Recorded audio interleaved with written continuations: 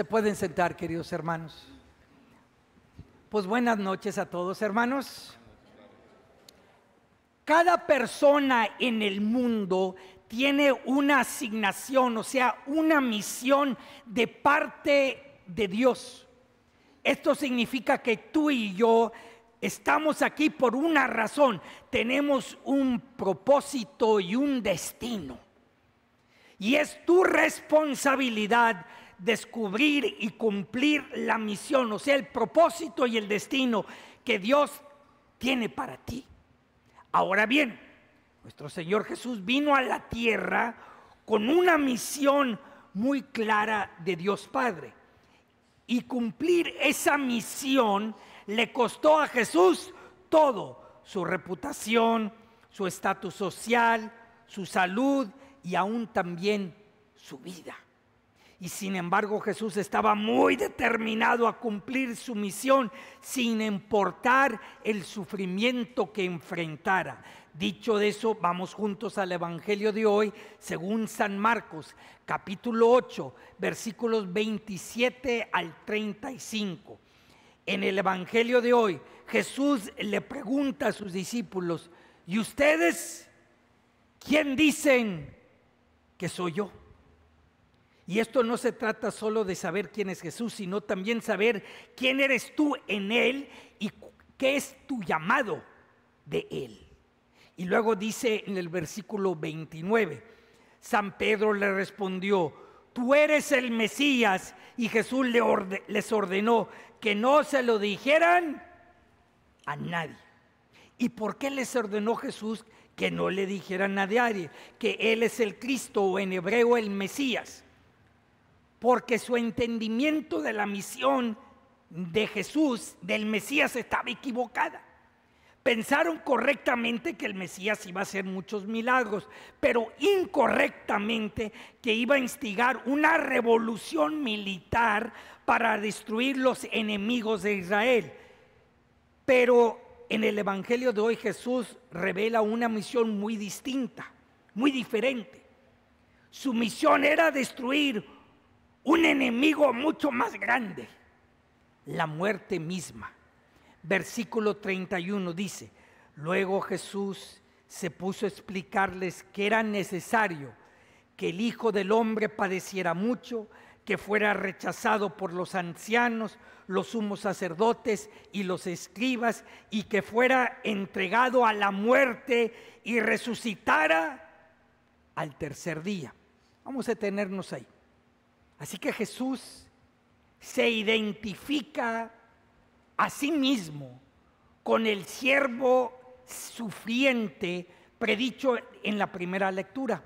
Acompáñenme a la primera lectura del profeta Isaías, capítulo 50, y vamos al versículo 6 que dice, ofrecí la espalda a los que me golpeaban, la mejilla a los que me tiraban de la barba. No aparté mi rostro de los insultos y salivazos. Wow. Si el profeta Isaías habla de un siervo sufriente que no protegió su espalda, ni su mejilla, ni su rostro de golpes violentos, de los insultos, las vergüenzas y los salivazos. Lo hizo sin resistencia aceptó ese sufrimiento. O sea, Jesús cumplió esta profecía perfectamente de Isaías, porque, porque para él no paró el mal cuando era herido, lo aceptó sin resistencia. Considera esto. Jesús tenía una ternura perfecta de corazón. Por eso era perfectamente sensible por lo que su sufrimiento fue mucho mayor que el nuestro. Hoy también es el 15 de septiembre, que es la fiesta de Nuestra Señora de los Dolores normalmente. La Virgen también tenía una ternura de corazón. O sea, ellos eran más sensibles al sufrimiento que nosotros.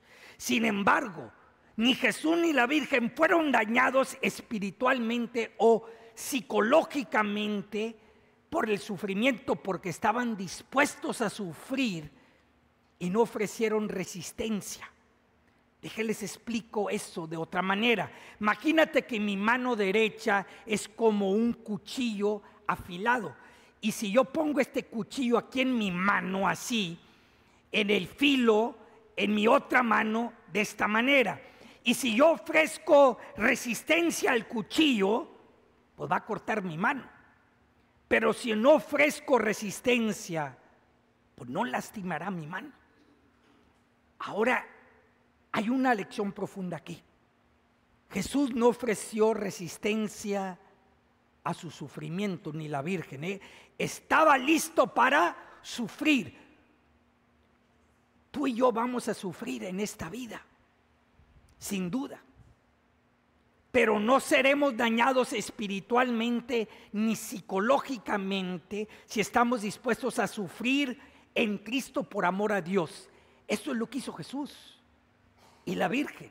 Sí sufrieron, pero ese sufrimiento no dañó su memoria, no no dañó su psicología. ¿Por qué? Porque ya estaba dispuesto a sufrir. Hermanos, Jesús permitió que lo hirieran físicamente para ganar nuestra sanación y salvación. Sin embargo, espiritualmente, psicológicamente, en sus memorias, no fue herido porque estaba preparado para sufrir. Versículo 7. Pero el Señor me ayuda. Por eso no quedaré confundido. Por eso endurecí mi rostro como roca. Fíjate, el profeta dice que poner su rostro como roca hizo. Este es un símbolo de que Jesús tenía una determinación inquebrantable en su misión, aún en el sufrimiento. A ver, ¿qué es la virtud de la terminación que enseñó Jesús? Déjenles doy una definición, por favor repitan después de mí. La determinación es... La determinación, es... Cuando yo decido cuando yo decido lograr los objetivos correctos, lograr los objetivos correctos en el momento correcto, en el momento correcto, sin importar la oposición. Sin importar la oposición. Esto es la virtud de la determinación. Así que la determinación significa estar comprometido a cumplir los objetivos de Dios que siempre son correctos, incluso cuando son realmente difíciles. La misión de Jesús realmente era muy difícil. Y aquí hay una, una dura verdad. Tu misión también te puede costar todo. Tu misión como mamá o papá. Tu misión como esposo o esposa. Como discípulo de Jesús. Quizá como en tu ministerio o tu trabajo o quizá tu misión no quizá tu misión no implica sufrir literalmente así en la cruz como Jesús, pero sí implica sacrificio personal. Y al igual que Jesús debemos estar determinados de completar y cumplir esa misión. Pero mira lo que hizo Pedro, versículo 32. Entonces Pedro se lo llevó aparte y trataba de disuadirlo. Y me puedo imaginar lo que Pedro le dijo a Jesús. Mira Jesús, ven acá. Mira, yo tengo una mejor idea. Tú eres el Mesías y vas a ser el rey de Israel. Y yo voy a ser tu mano derecha y nos va a ir muy bien. Y si sigues haciendo estos milagros increíbles, vamos a conquistar todo el mundo. Pero yo necesito que dejes de hablar que, vas a sufrir y que te van a matar. Eso no me gusta. O sea, Pedro no entendía que la misión de Jesús requería su sufrimiento y muerte. ¿Y cómo le responde? ¿Cómo le respondió Jesús a Pedro? Ay, Pedro, tienes todas las razones que se me fue la onda. ¿Dijo Jesús eso, sí o no? No. Mira lo que Jesús le dijo a Pedro, versículo 33. Jesús se volvió, o sea, Jesús le dio la espalda a Pedro y mirando al resto de los discípulos, reprendió, reprendió a Pedro con estas palabras. Apártate de mí, Satanás, porque tú no juzgas según Dios, sino según los hombres. Qué duro, ¿verdad? Duro. Jesús nos está enseñando una lección muy importante, hermanos.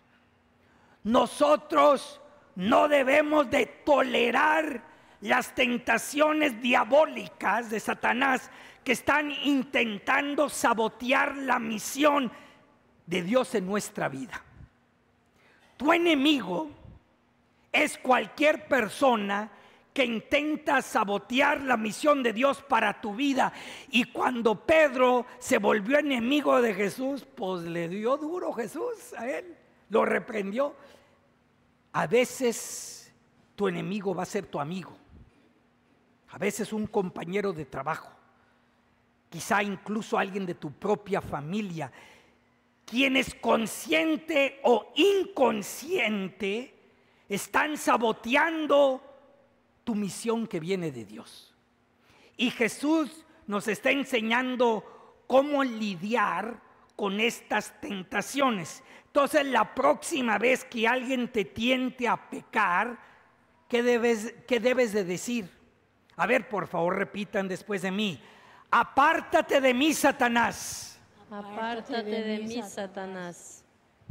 Por ejemplo, jóvenes, la próxima vez que alguien les ofrezca drogas aquí en las calles de San Pedro, oye, ¿quieres un poco de cocaína? Un poco de marihuana. Vamos, pruébala. ¿Qué debes de decirles? A ver, todos juntos. Apártate de mí, Satanás. Y hay muchos diablos aquí caminando en las calles. Y la próxima vez que alguien les tienta a ser infieles a tu cónyuge, o a cometer fornicación o adulterio con una prostituta, ¿qué debes de decir? Apártate de mí, Satanás, seré fiel a mi cónyuge. Cuando tú seas tentado a ceder a la pereza, a la flojera espiritual, ¿qué debes de decir? Esa tentación, apártate de mí, Satanás, haré el trabajo que Dios con determinación. O cuando tú seas tentado a guardar rencores o a negarte a perdonar, ¿qué debes de decir? Apártate de mí, Satanás, perdonaré como Cristo me ha perdonado. Y cuando tú seas tentado a comprometer, a comprometer tus valores, por ganancia personal, ¿qué debes decir? Apártate de mí, Satanás. Estoy determinado a vivir según los criterios de Dios, no del mundo. Versículo 34 a 35. Después llamó Jesús a la multitud de sus discípulos y les dijo, el que quiera venir conmigo, que renuncie a sí mismo, que cargue con su cruz y me siga. Pues el que quiera salvar su vida, la perderá. Pero el que pierda su vida por mí y por el Evangelio, la salvará. Eso Jesús te está diciendo a ti. Jesús sabía que su misión lo llevaría a la cruz, pero Él la abrazó con valor y con amor por nosotros al igual que Jesús, tú y yo debemos de estar determinados a lograr los objetivos correctos en el momento correcto, incluso cuando el mundo o nuestros miedos o nuestra comodidad nos insten a rajarnos. Aquí hay otra lección importante.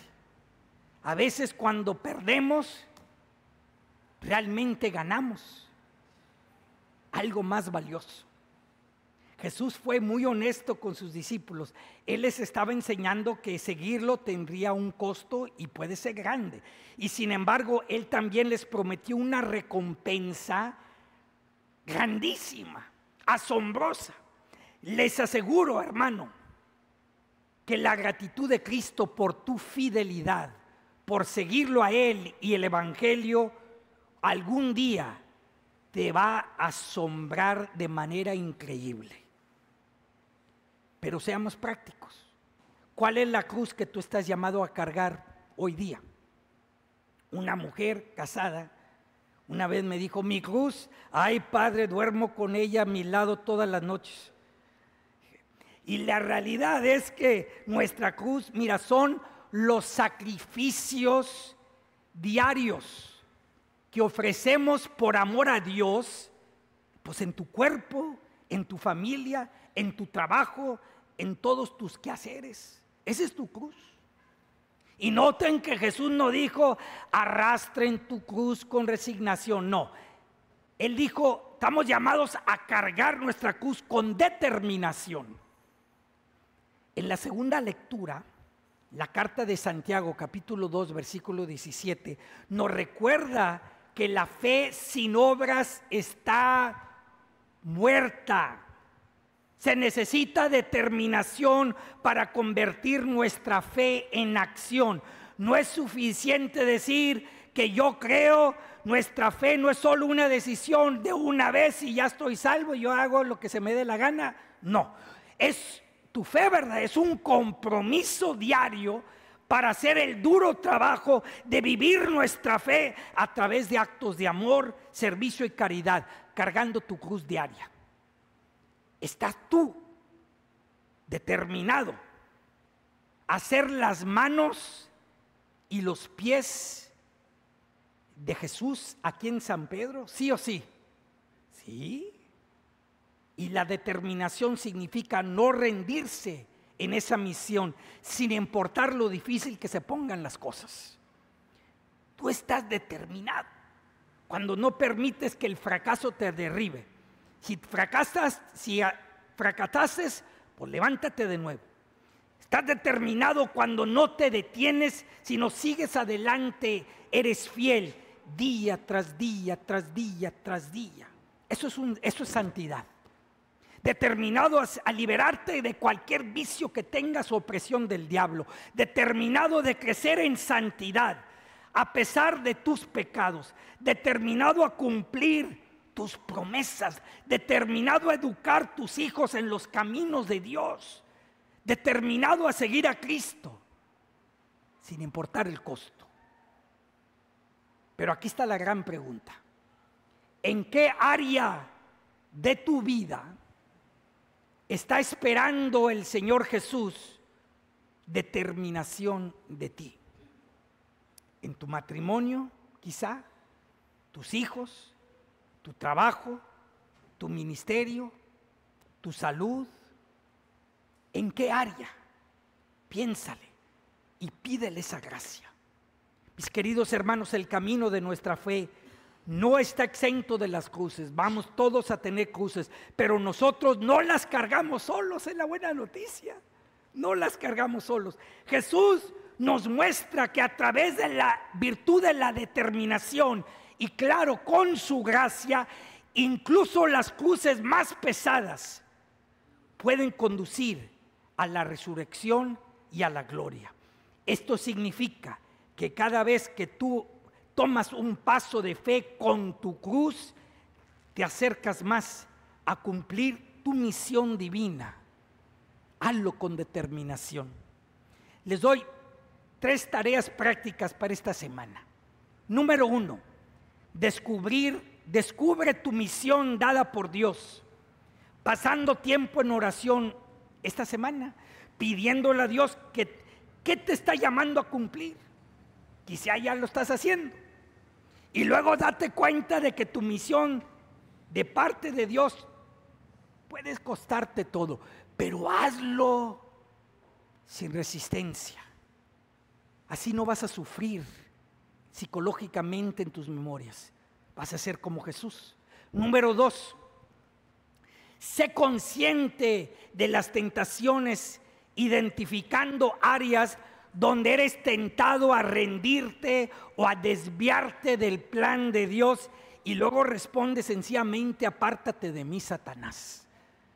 Número tres, actúa con determinación como nos enseña Santiago, deja que tu fe se manifieste en acción. Esa es fe viva. Y encuentra una manera concreta esta semana de vivir tu fe a través del servicio del sacrificio. Que tú estés determinado a cargar tu cruz y a seguir a Cristo. Y que tú te des cuenta que cuando pierdes tu vida, por Cristo y su Evangelio, realmente ganas algo mucho más valioso, la vida eterna. Gloria al Padre, al Hijo y al Espíritu Santo, como era en el principio, ahora y siempre, por los siglos de los siglos. Amén.